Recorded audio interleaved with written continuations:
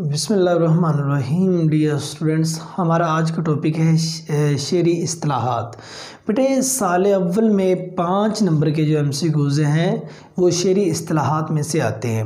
अब शेरी असलाहत में कौन कौन सी चीज़ें शामिल होती हैं? बेटे, जिसमें काफ़िया, रदीफ़, मतला, मकता, ये चार चीज़ें शामिल होती हैं। आइए हम चारों चीज़ों पे बात करते हैं। सबसे पहले हम काफ़िया पे बात करेंगे कि काफ़िया क्या है? बेटे देखें कि काफ़िया अरबी ज़ुबान के लफ्ज़ कफ़ा से निकला है और काफ़िया की जमा कवाफ़ी है और काफ़िया गज़ल कसीदे के लिए ज़रूरी होता है।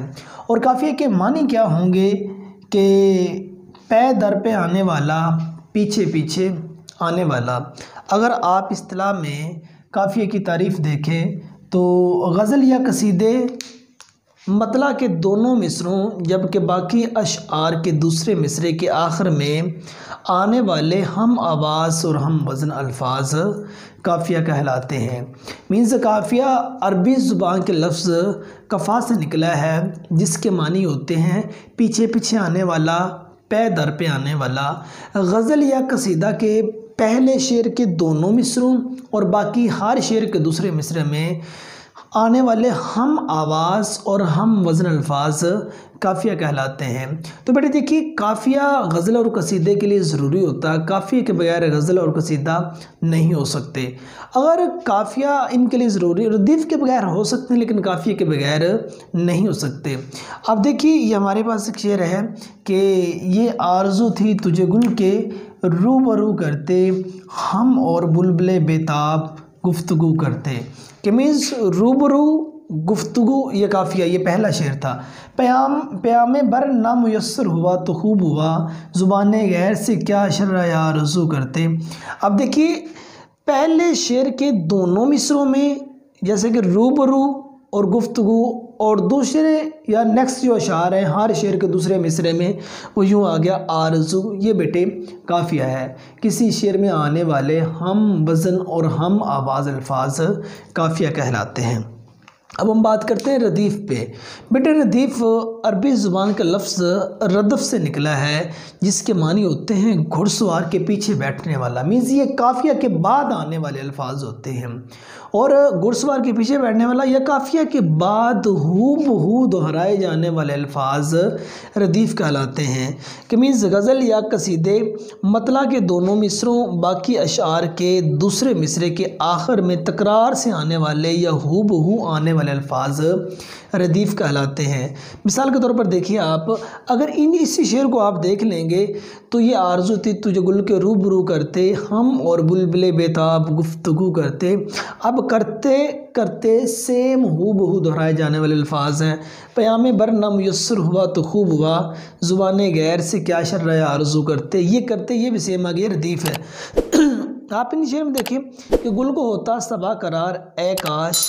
रहती एक दिन बहार। ए काश ये लफ्ज़ जो ए काश आ रहा है, ये रदीफ़ है। और इस सेकंड शेर में देखिए कि फिर राह से वो यहाँ आते आते अजल मर रही तो कहाँ? आते आते अब मतलब कि आते आते आते आते ये जो है, ये रदीफ़ है। ठीक है? और ये बेटे हमने काफ़िया रदीफ़ की बात की। मीन्स रदीफ़ अरबी ज़ुबान का लफ्ज़ रदफ़ से निकला है, जिसके मानी ये होते हैं घुड़सवार के पीछे बैठ। मीन्स काफ़िया के बाद दोहराए जाने वाले वो बहु दोहराए जाने वाले अल्फाज रदीफ़ कहलाते हैं। बेटे रदीफ़ के बगैर गज़ल हो जाती है, काफ़िया के बगैर नहीं हो जाती, नहीं होती। काफ़िया लाजमी शर्त है और रदीफ़ कोई लाजमी शर्त नहीं है। और उसके बाद बात करते हैं मतला की। मतला क्या है जी?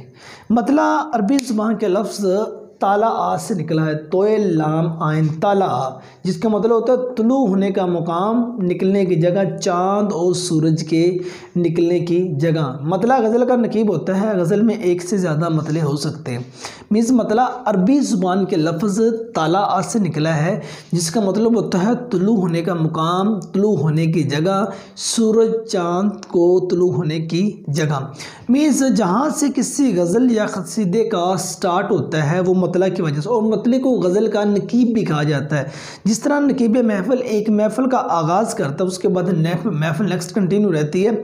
इसी तरह जो गज़ल या कसीदे का आगाज़ होगा, वो मतले से होगा। मतला गज़ल या कसीदे का नकीब भी होता है। अब मतला के लिए क्या क्या शर्त होती हैं? अब उसमें देखें बेटे कि गज़ल या कसीदे का पहला शेर, जिसके दोनों मिसरे हम काफिया और हम रदीफ़ हों। उसे मतला कहते हैं। और बेटे काफ़िए का होना ज़रूरी है। रदीफ़ के बगैर गज़ल हो जाती है, लेकिन काफ़िए के बगैर नहीं होती। ठीक है? काफ़िए का होना ज़रूरी है कि मीज़ गज़ल या कसीदे का पहले शेर के दोनों मिसरे, मिसरों में जो आने वाले हम आवाज़ और हम वज़न अल्फाज जो होते हैं, वो काफ़ी के लिए, मतला के लिए ज़रूरी हैं। और जो रदीफ़, अब हमारे सिलेबस में जितनी गज़लें आएँगी बेटे, उसमें काफ़ी रदीफ़ दोनों चीज़ें होती हैं। अब ये चंद एग्ज़ाम्पल देखिए आप, काफ़िया की, मतला की, कि दिल में एक लहर से उठी है अभी, कोई ताज़ा हवा चली है अभी। मतलब दिल में एक लहर से उठी है अभी, ये उठी और ये चली, ये दोनों क्या आ गए? काफ़िए शोर बरपा खाना दिल में, कोई दीवार सी गिरी है अभी, और ये जो गिरी उठी, चली, गिरी, ये तीनों क्या हुआ?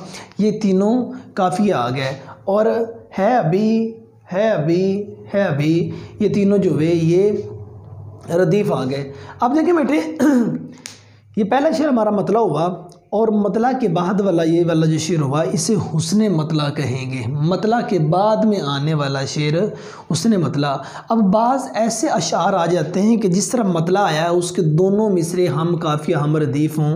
तो पहले शेर के बाद दूसरा शेर अगर ऐसा आ जाए, जिसके दोनों मिसरे हम काफ़ी हम रदीफ़ हों, फिर तीसरा शेर भी ऐसा आ जाए तो अब उन्हें क्या कहेंगे? ये एक एग्ज़ाम्पल ये भी आप देखिए कि गज़ब किया तेरे वादे पे एत, जो एतबार किया तमाम रात क़्यामत का इंतज़ार किया। बेटे इसमें देखें आप ये इतबार और उसके बाद ये इंतज़ार कि ये दोनों काफ़ी आगे किया किया ये रदीफ़ा की हमारा मतला है। किसी तरह जो ना उस ालम ने एतबार किया मेरी वफा ने मुझे खूब शर्मसार किया। यहाँ पर ये लफ्ज़ एतबार आ गया। यहाँ शर्मसार आ गया। ये दोनों मिसरों में फिर काफ़ी आ गया। तो बेटे इसे मतला सानी कहेंगे। इसे मतला सानी कहेंगे और मतला सानी हुसन मतला भी कहलाता है। मीज़ मतला के बाद में जो शेर भी आएगा, वो हुसन मतला होता है। अगर अब ये सेकंड मतला आ गया ना, दूसरा मतला सानी आ गया, इसे हुसन मतला भी कहेंगे। और तीसरा, हंसा हंसा के शब वसल अश्क बार किया। तसलियाँ मुझे दे दे कर बेकरार किया। बेटे, ये मतला सालस हो गया। तो इसी तरह एक से ज़्यादा मतले भी आ जाते हैं और मतला के बाद में आने वाला जो शेर होता है, वो उसने मतला होता है। तो अब उसके बाद ये देखिए कि गज़ल, शेर एक, हूँ, आज भी गमों के बोझ तले, वो आए तो कहीं ये मुसीबत टले। हैं, आज वो औरों के हम नवा जो बरसों हमारे टुकड़ों पे पले। आज हैं वो औरों के हम नवा जो बरसों हमारे टुकड़ों पे पले। अब देखें ना, तले, टले, पले। अब ये तीनों क्या हो गए? ये तीनों काफ़ी आ गए अब इसमें रदीफ़ है ही नहीं। तो बेटे, गज़ल मरदफ़ और गैर मुरदफ़ गज़ल भी होती है। ऐसी गज़ल जिसमें रदीफ़ हो, वो मुरदफ़ गज़ल कहलाती है। जिसमें रदीफ़ ना हो, वो गैर मुरदफ़ गज़ल कहलाती है। अब ये वाली और ये वाली, ये दोनों एग्जांपल दी। थी ये मुरदफ़ गज़ल की एग्जांपल्स हैं। और ये वाला जो तीसरा शेर था, तीसरी एग्जांपल थी, ये गैर मुरदफ़ गज़ल है कि उसमें रदीफ़ नहीं है। चौथे नंबर पर देखिए, मकता। मकता अरबी ज़ुबान के लफ्ज़ काता आ। काफ तो आइन से निकला है।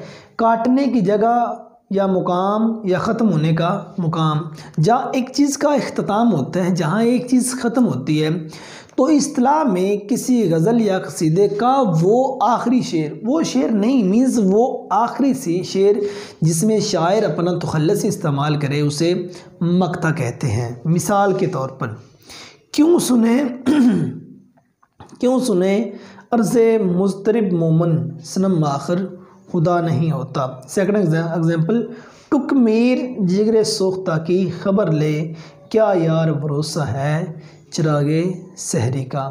तो डी स्टूडेंट्स ये हमारा आज का लेक्चर था जिसमें शेरी असलाहत को हमने डिस्कस किया। हमने काफ़िया, रदीफ़, मतला, मकता चारों चीज़ों को डिस्कस किया।